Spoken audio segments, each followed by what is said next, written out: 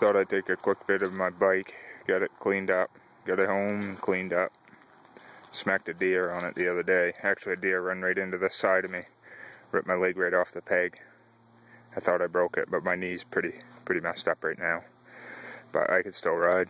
Uh, my ankle was kind of messed up too, but bought this bike for twelve hundred dollars. Twelve hundred miles, or twelve thousand miles. Sorry. But it's a pretty clean bike. It's got, if you can see in the sun, it's a little bit of blue, blue flake in the paint. It's kind of cool.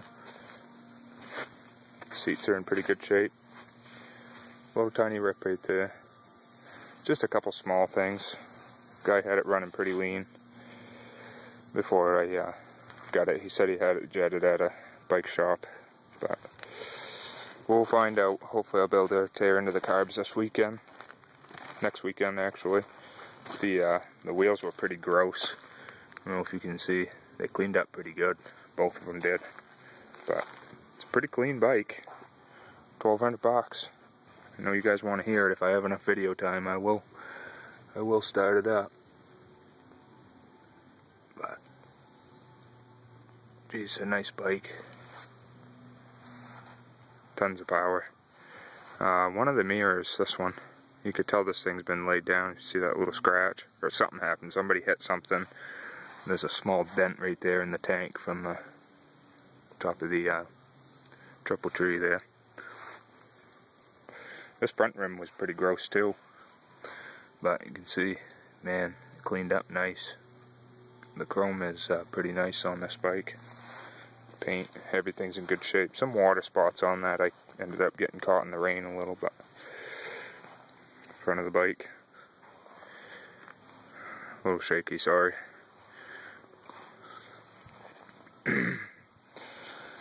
yeah, let's uh, fire it up.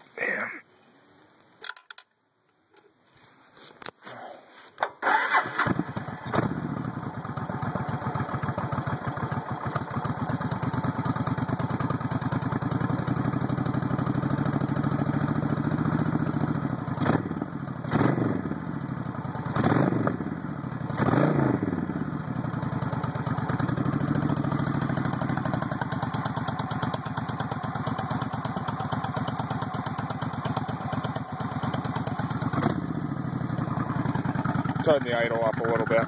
It's kind of cold. A little bit of popping still there, but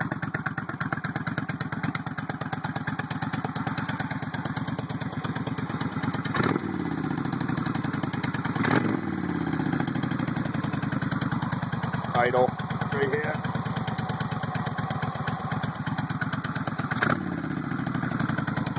There it is.